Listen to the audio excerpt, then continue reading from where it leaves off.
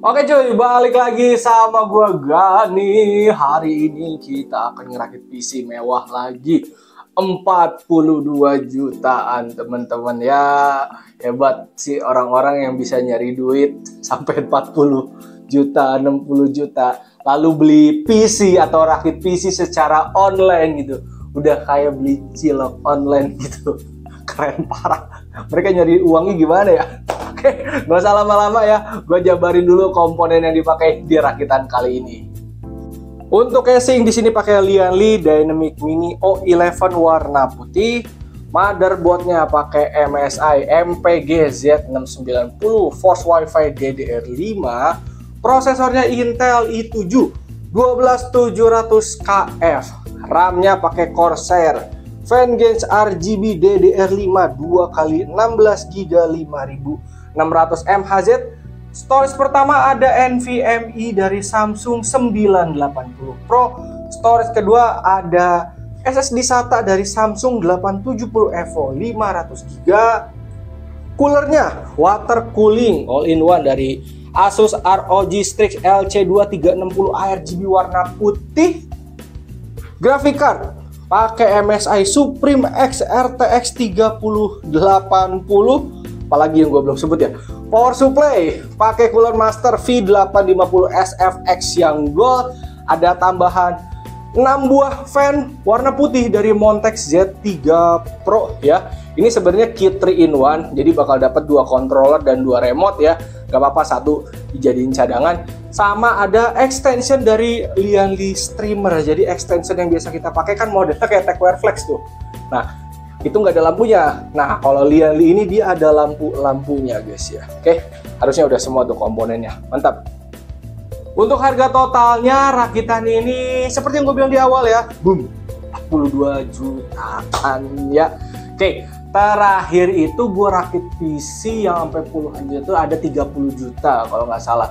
Waktu itu punya Bang Kivan 68 juta. Tapi kalau ngikutin harga pada saat waktu itu rakit itu sebenarnya 40 jutaan juga gitu. Uh, kenapa bisa 60 juta? Soalnya VGA-nya dia beli pas lagi harga mahal-mahalnya.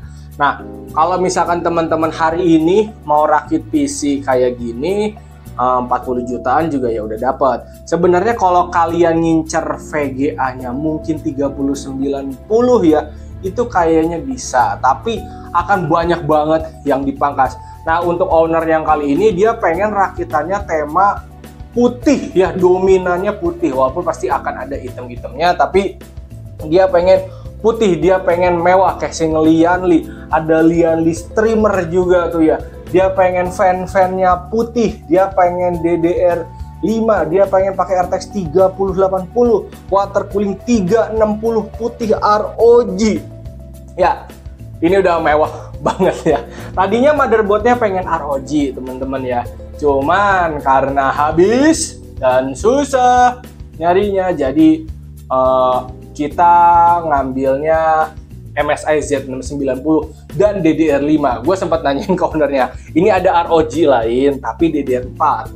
Tinggal masnya pilih aja, mau ngikut ROG uh, DDR4 atau menurunkan ego ambil MSI DDR5 dan akhirnya si ownernya milih uh, MSI Z690 dan DDR5 ya. Ini juga udah cakep guys. Spek kayak gini gak usah ditanya lagi udah pasti bagus teman-teman ya. Udah pasti bagus karena gue yang pakai Ryzen 5600X sama RTX 3050 aja udah ngerasa lebih dari cukup apalagi spek kayak gini. Penasaran gue si masnya bakal pakai buat apa ya bis ini ya? Bikin film kah? Bikin game kah gue nggak tahu juga. Oke teman-teman tinggal nikmatin aja. Abis ini akan ada proses rakit. Kayaknya gue akan langsung sampai pasang graphic card dan kita ketemu lagi pada saat PC-nya dinyalain. Oke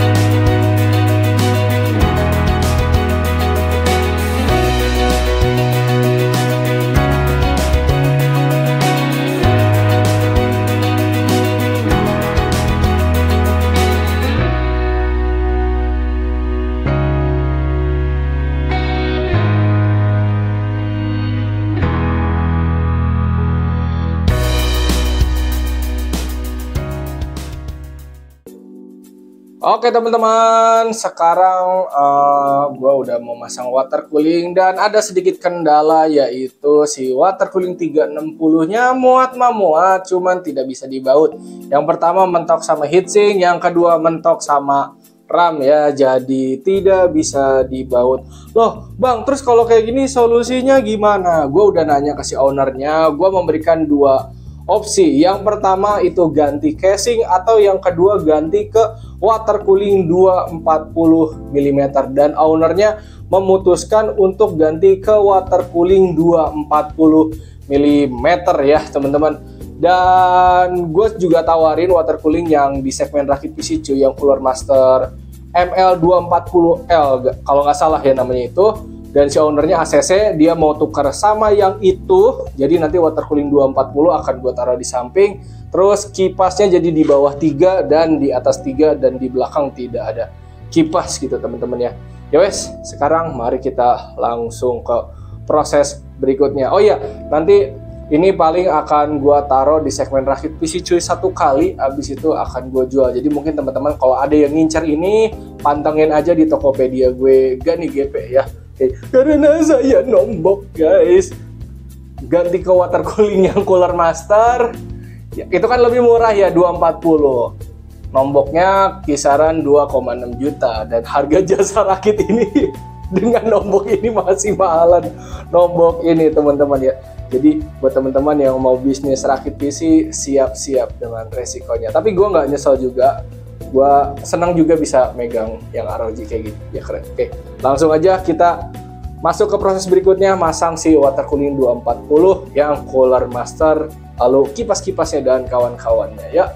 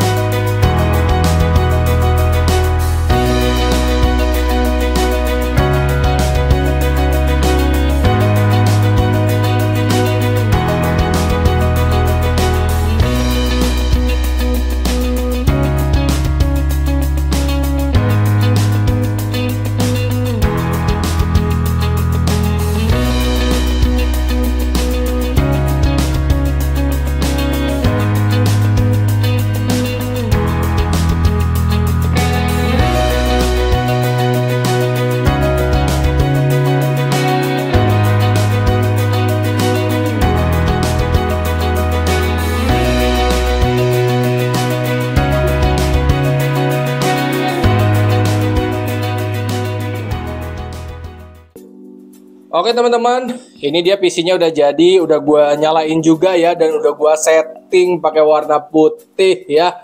Asli deh ini gua tiga software guys, RAM-nya pakai iCu, terus lampu motherboard, lampu VGA-nya pakai MSI Mystic Light, lian-linya pakai Alconnect, tiga software guys buat lampu-lampuan kayak gini.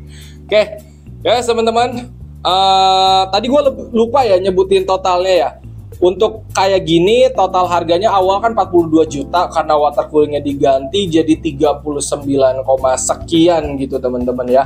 Oke, okay. dan spek kayak gini ya udah aman juga dan abis ini teman-teman tinggal nikmatin preview beserta testingnya ya. Dan yang jelas karena ini PC punya pesanan, gue tidak akan testing aneh-aneh teman-teman. Gue camkan sekali lagi, gue tegaskan sekali lagi. Gue hanya testing testing yang bisa dibilang uh, banyak itu di segmen rakit PC cuy. Kalau untuk segmen orderan, gue hanya rakitin sebatas PC-nya jalan normal, enough, cukup gitu teman-teman ya. Kalau kalian butuh hasil tes yang macam-macam, udah banyak juga tektuber lain yang ngasih tes, oke? Okay? Yowes, mantap, selamat menikmati preview PC beserta testingnya.